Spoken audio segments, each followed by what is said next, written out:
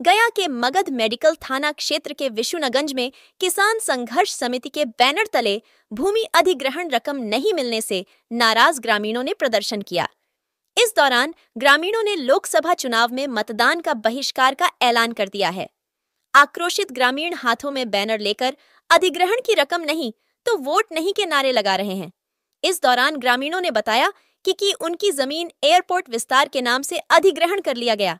लेकिन उन्हें रकम नहीं दी गई। ग्रामीणों ने कहा, उन्हें 17 लाख रुपए जो देने की बात प्रशासन द्वारा कहा, वो दिया जाए, नहीं तो अधिग्रहण मुक्त किया जाए।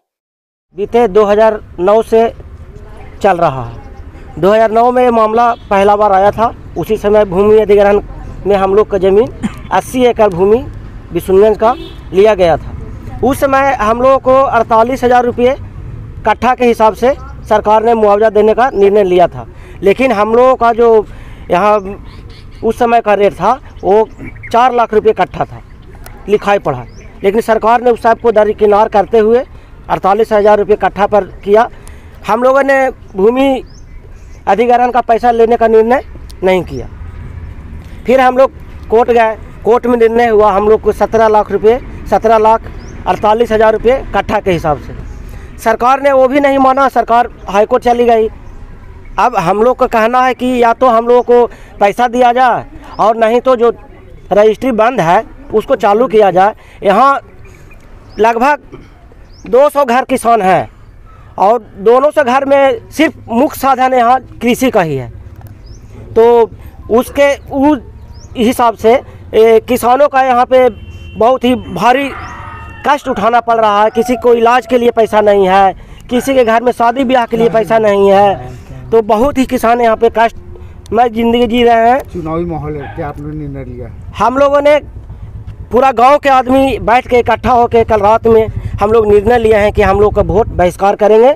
या तो सरकार या तो जिला प्रशासन हम लोग का आश्वस्त करे कि पैसा हम लोग के दिया जाएगा या तो रजिस्ट्री चालू किया जाएगा तभी हम लोग वोट देंगे। और नहीं तो हम लोग आने वाले विगत 2024 के उन्नीस अप्रैल को चुनाव को हम लोग पूरे गाँव के लोग दो सौ सतासी बूथ संख्या ग्राम विशुनगंज में हम लोग वोट बहिष्कार का निर्णय लिए हैं हम लोग करेंगे। एक भी वोट नहीं पड़ेगा।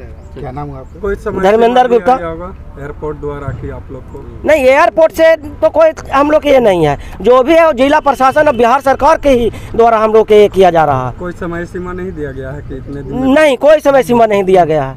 2009 से अभी तक लंबित है मामला। हम लोग भारी कष्ट में ज़िंदगी यहाँ पर गुजार रहे हैं। क्या नाम धर्मेंद्र गुप्ता। है हम लोग को पहले सबसे पहले तो ये है कि जिला प्रशासन से इतना लोग आदमी आया यहाँ हम लोग बार बार यहाँ मीटिंग करता था कि आप लोग का ज़मीन एयरपोर्ट विस्तार में जा रहा है और हम लोग इतना पैसा आप लोग को देंगे कि आप लोग को रखल पार नहीं लगेगा। आप लोग ऐसा कीजिए कि एक डिसमिल भी कम से कम एयरपोर्ट अधिकरण में आप लोग दे दीजिए और पैसा ले लीजिए।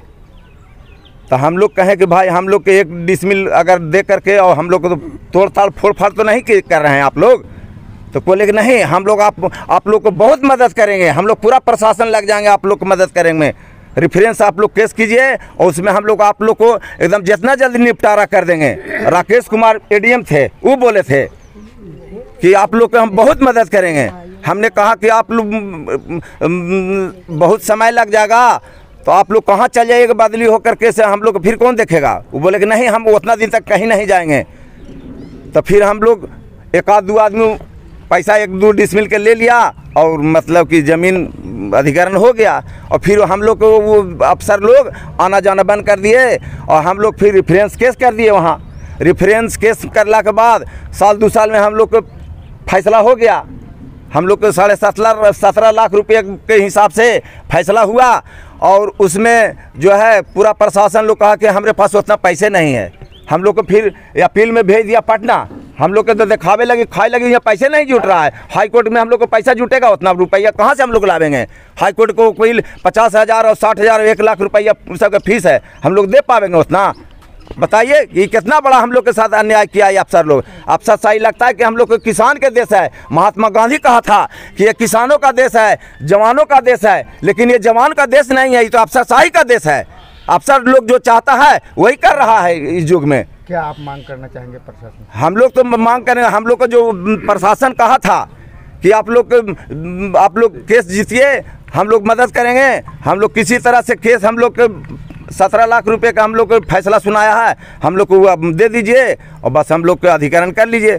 न खेत ले रहा है और वो हम लोग अगर अधिकरण भी रद्द कर देता है तो हम लोग कम से कम खेत बाड़ी बेच करके शादी ब्याह बर बीमारी दिखावेंगे ना भाई? परिवार लोग प्रभावित है?